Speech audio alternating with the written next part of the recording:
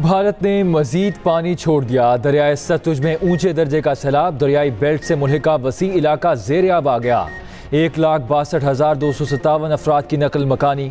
दरियाई बेल्ट के तैंतालीस स्कूल गैर मुजना मुद्दत तक बंद। अट्ठारह फीडर सैलाबी पानी में डूब गए। बिहाड़ी में हेड इस्लाम के मुकाम पर पानी का अखराज एक लाख पचपन हज़ार क्यूसेक तक जा पहुँचा। बूरे वाला से दो लाख से जायद क्यूसेक का रेला गुजर रहा है। एक सौ चालीस से जायद देहात, मोजाजात और बस्तियाँ मुतासर। बूरे वाला से ज़मीनी रास्ता मुनकता। सैलाबी पानी ने साहूका शहर को भी अपनी लपेट में ले लिया। दरियाए सतुज में सैलाब से हज़ारों एकड़ पर खड़ी फ़सलें और सड़कें तबाह हो गईं।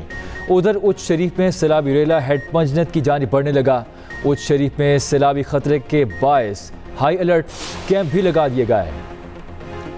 पंजाब के मुख्तलिफ़ शहरों में बारिश ने गर्मी का ज़ोर तोड़ दिया। आज खत्ता पोटोहार, इस्लामाबाद, बालाई पंजाब, शुमाल मशरकी बलूचिस्तान के पी और कश्मीर में गरज चमक के साथ बारिश की तो लाहौर, फैसलाबाद, गुजरावाला, सरगोदा और सियालकोट समेत मुख्तलिफ़ शहरों में भी मजीद बारिश का इम्कान।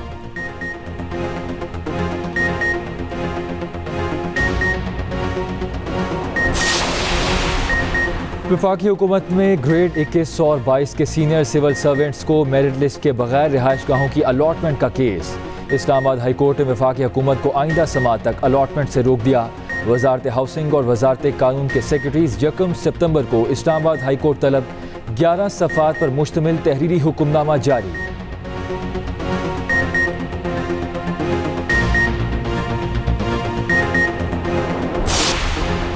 कोयटा समेत सूबे भर में चीनी की कीमत बुलंद तरीन सतह पर। होश शुबा इजाफे से शहरी परेशान। चीनी की कीमत में पैंतीस रुपए का होशुबा इजाफा।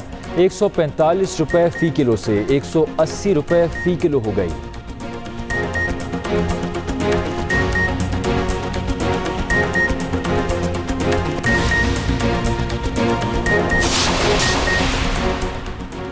वर्ल्ड ब्लाइंड गेम्स क्रिकेट के फाइनल में पाक भारत मुकाबला आज होगा बमिंगम में। एजबेस्टन क्रिकेट ग्राउंड में पाकिस्तान और भारत की टीमें शाम सात बजे मद्दे मुकाबल होंगी।